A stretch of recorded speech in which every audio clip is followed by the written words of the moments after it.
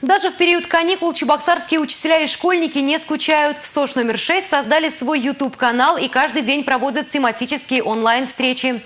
В гости в пришкольный лагерь под названием «Королевство 3D» заглянула и наша съемочная группа. Сегодня по нашим одеждам вы, наверное, поняли, что наш день посвящен Чувашии.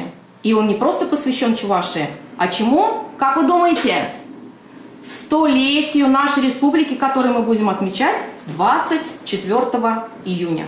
Важная составляющая культуры любого народа – это национальная кухня. Сегодня в меню пришкольного лагеря – хуран кукли. Это аналог русских вареников. Кулинарный батл выдался на славу. Вареники лепили даже родители.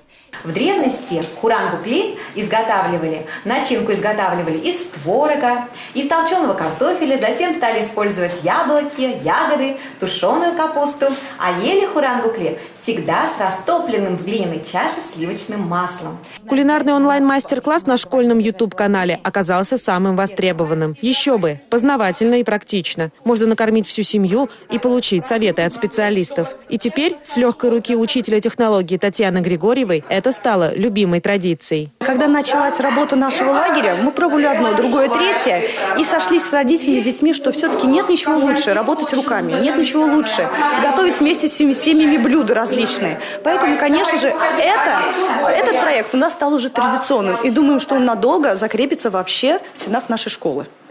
Семьи участники сегодняшнего батла получили грамоты и сладкие призы, а победители, семья Морозовых, получили сертификат на бесплатное посещение Чувашского национального музея.